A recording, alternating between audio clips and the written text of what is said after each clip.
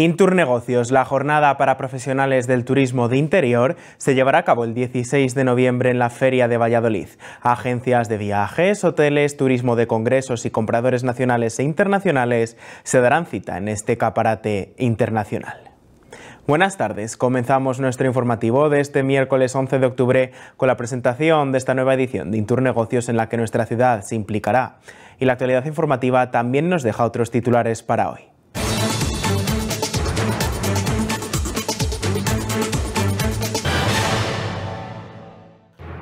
UGT protesta por la liquidación de servicios públicos en León. Afirman que el 100% de los servicios públicos de nuestra región tiene un déficit de hasta 40% en su plantilla. La falta de trabajadores obliga a los que mantienen su puesto a realizar labores que no les corresponden y esta situación no solo afecta a las plantillas de los centros públicos, sino también a toda la ciudadanía que no puede ser atendida.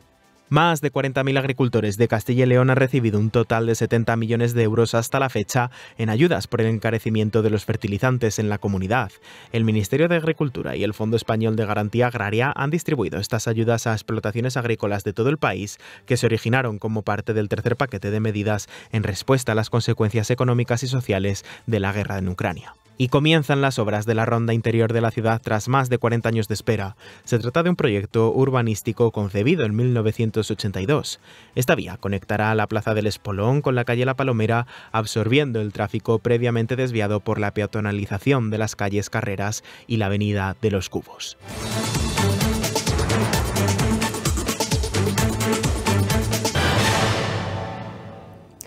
Intur Negocios, la destacada jornada para profesionales del turismo de interior, se llevará a cabo este año el 16 de noviembre en la Feria de Valladolid. Agencias de viajes, hoteles, turismo activo, turismo de congresos, guías, empresas de transporte y compradores nacionales e internacionales se darán cita el próximo mes de noviembre en la comunidad. El director general de la Feria de Valladolid, Alberto Alonso, ha presentado a empresarios leoneses los detalles de Intur Negocios, que abarca mercado de contratación, área de exposición y jornadas de formación enfocadas en aspectos cruciales del turismo de interior.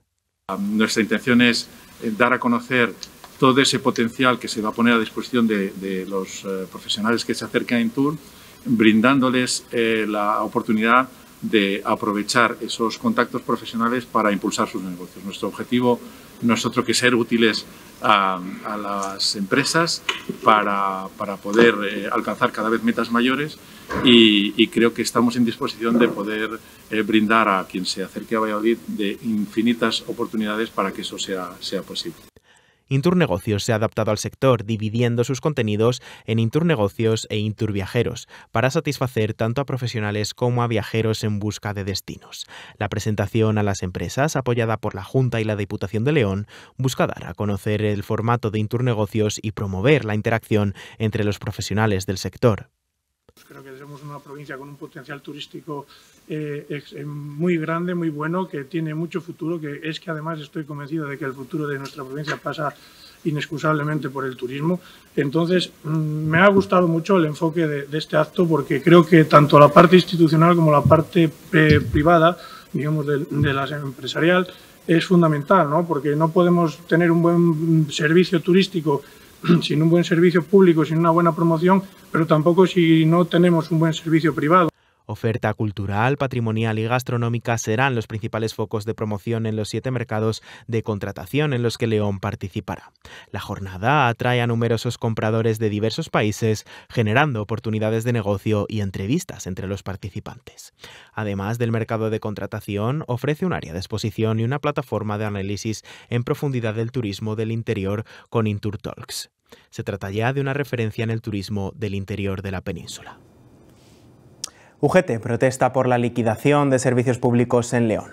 Han denunciado el despido de personal eventual en centros de menores, incluyendo la residencia juvenil Suero de Quiñones, lo cual no se discutió en las negociaciones del convenio colectivo, así como el intento de privatizar parte de estos servicios, lo que se logró detener mediante la aplicación de nuevas categorías. En otros servicios públicos, como la educación, se ha observado una disminución significativa del personal, lo que afecta negativamente a la calidad del servicio.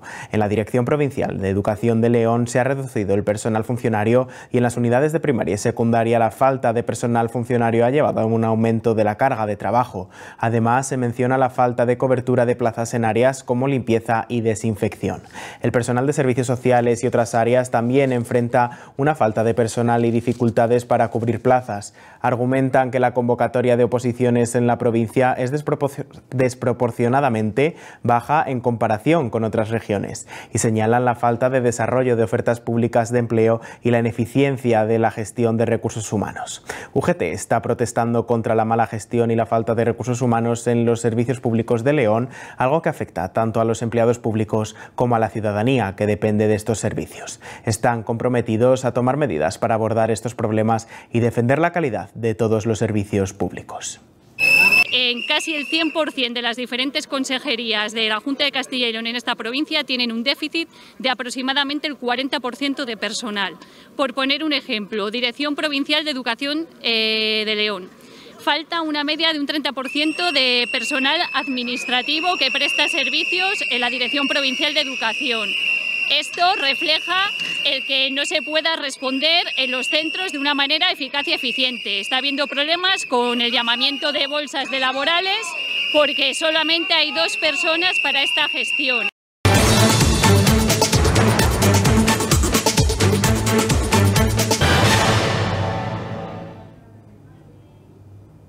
Más de 40.000 agricultores de Castilla y León han recibido un total de 70 millones de euros hasta la fecha en ayudas por el encarecimiento de los fertilizantes en la comunidad. El FEGA ha emitido dos nuevas resoluciones de pago destinando 2 millones y medio de euros para 2.188 agricultores, de los cuales 32 son de Castilla y León, con un beneficio de más de 17.000 euros. Desde el inicio de estas ayudas relacionadas con la guerra en Ucrania, 240.000 agricultores han recibido casi 300 millones de euros en cuatro pagos. El Ministerio de Agricultura y el Fondo Español de Garantía Agraria ha distribuido un total de 69.000 euros entre 40.000 titulares de explotaciones agrícolas en Castilla y León. Estas ayudas se originaron como parte del tercer paquete de medidas en respuesta a las consecuencias económicas y sociales de la guerra en Ucrania, aprobadas por el Consejo de Ministros en diciembre de 2022. El proceso ha involucrado varias resoluciones y pagos a lo largo de los meses, beneficiando a los agricultores que cumplen con los requisitos requisitos.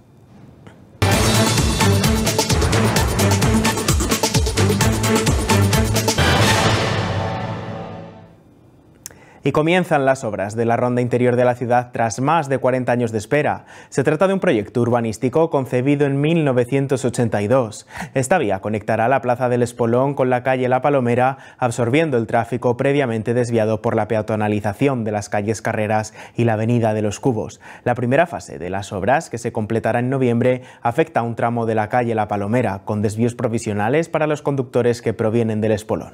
A pesar del inicio de las obras, aún se esperan los últimos trámites de expropiación para obtener los terrenos necesarios. El Ayuntamiento de León ya ha adjudicado las demoliciones de la segunda fase del expropiatorio por 240.000 euros, que incluyen muebles cercanos a la Plaza del Espolón con el objetivo de completar estos trámites a finales de año. La ronda inferior tendrá una longitud de 272 metros y contará con un vial auxiliar que ofrecerá 27 plazas de aparcamientos. Los cambios en la dirección de circulación afectarán a la calle de la Palomera, permitiendo un nuevo flujo de tráfico entre la Plaza del Espolón y esta vía. León busca impulsar el turismo de congresos y eventos de trabajo, un segmento que aporta valor y crecimiento al sector turístico y que se espera que se recupere totalmente en 2024. Para ello, la Oficina de Congresos del Ayuntamiento realiza diversas acciones y promoción y comercialización, mostrando la fortaleza, competitividad y recursos de León como destino MICE. León dispone de diferentes infraestructuras y espacios para la celebración de eventos de trabajo, con una situación inmejorable que facilita la organización de los mismos. Los eventos que más se realizan en León son los relacionados con la docencia, la investigación y el comercio, que generan el mayor flujo de asistentes. Este año también han destacado los eventos sanitarios. El gasto medio por persona en este tipo de turismo es de 335 euros, una cifra superior a la de 2019.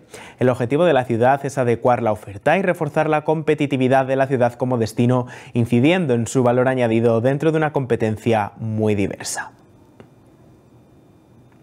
Y el alcalde ha visitado esta mañana el punto destinado al Camino de Santiago en Puente Castro. En 2023, el Servicio Preventivo de Información y Ayuda al Peregrino operó desde el 17 de abril hasta el 29 de septiembre.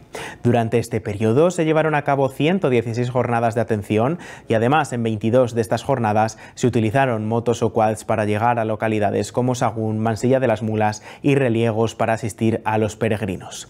Se proporcionaron mapas de la ciudad, listados de precios de albergues y hoteles, información sobre talleres de reparación de bicicletas, restaurantes y más para hacer la estancia de los peregrinos lo más agradable posible. Se incluye también un botiquín para emergencias y ofrecen indicaciones sobre previsiones climatológicas, albergues y rutas. Además, disponen de un vehículo con camilla, radio y botiquín para traslados a centros sanitarios en casos de dolencias menores. En ocasiones se realizaron desplazamientos en motoquad en sentido contrario al de los peregrinos para proporcionar seguridad y asistencia. La agrupación también recopiló información sobre incidencias en el camino, destacando problemas de señalización, desbroce y el estado de los albergues. Durante este periodo se atendieron peregrinos de 61 países, con un total de 13.000 atendidos, incluyendo 2.500 españoles. Los países con más peregrinos fueron Francia, Estados Unidos e Italia que León es una ciudad que poco a poco eh, va recuperando y mejorando sus datos turísticos.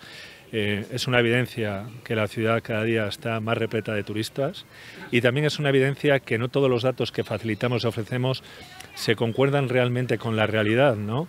Porque cuando hablamos de números de turistas que en la ciudad de León pueden andar al año rondando los 400, 450 mil turistas, son aquellos que realmente están registrados, pero todos aquellos que vienen a pisos turísticos o vienen a pasar un día sin registrarse en ningún sitio no son contabilizados, con lo cual las estimaciones seguramente se puedan aproximar más al millón de turistas al año en la ciudad de León que a los 400 y pico mil que realmente están registrados o reflejados en lo que son los datos oficiales.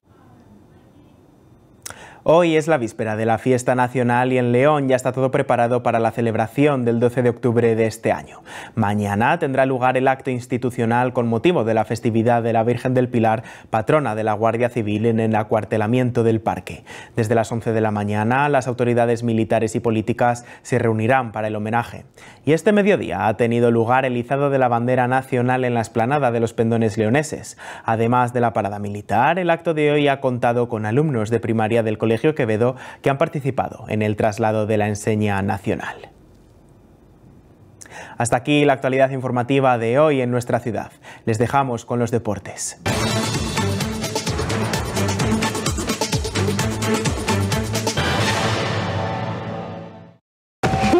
F de Formentor o de obsesión. S de si no lo entienden, ya lo entenderán. Y V de veloz. Upra.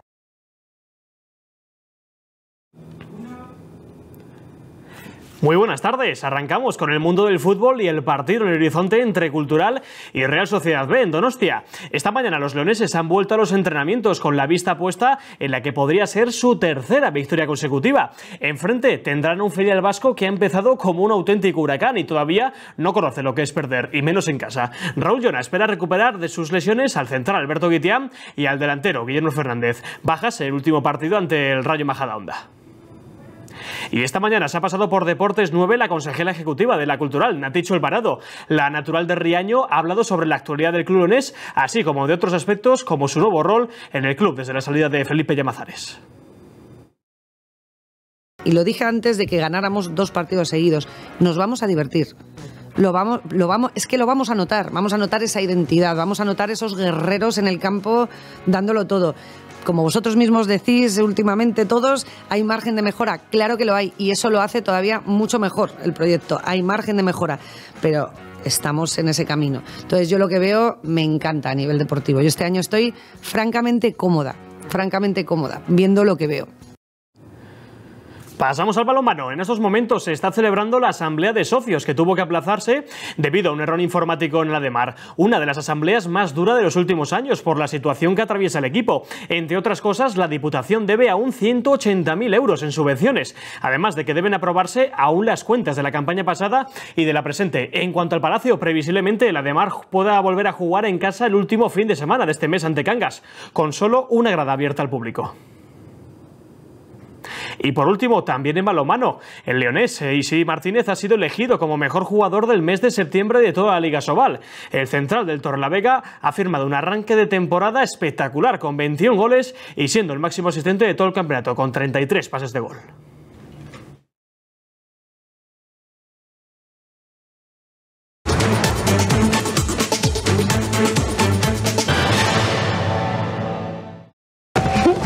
De Formentor o de obsesión. S de si no lo entienden, ya lo entenderán. Y V de veloz. Cupra. Finalizamos con el repaso al tiempo en nuestra provincia de cara a la jornada de mañana.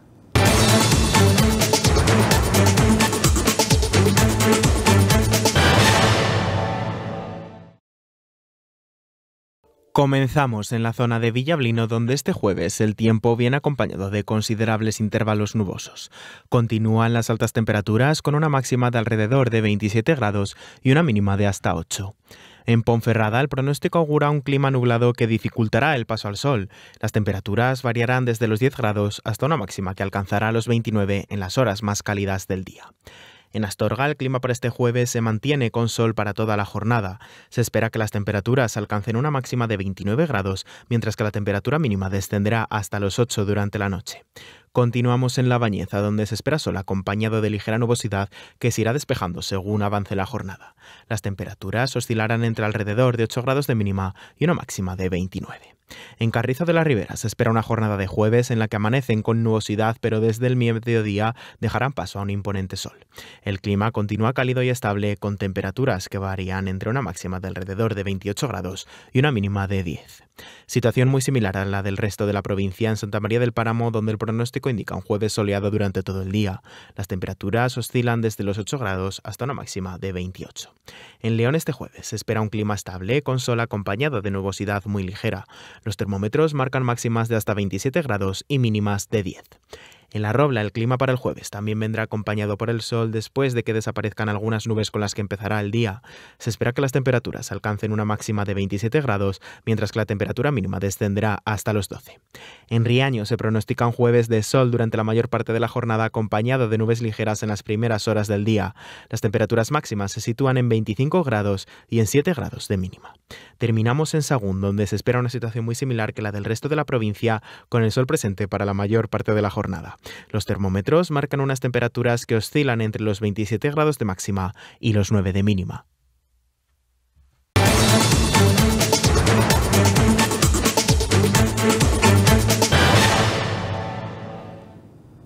Con esto terminamos nuestro espacio informativo. Ya saben, nos vemos el viernes a la misma hora aquí en la 9.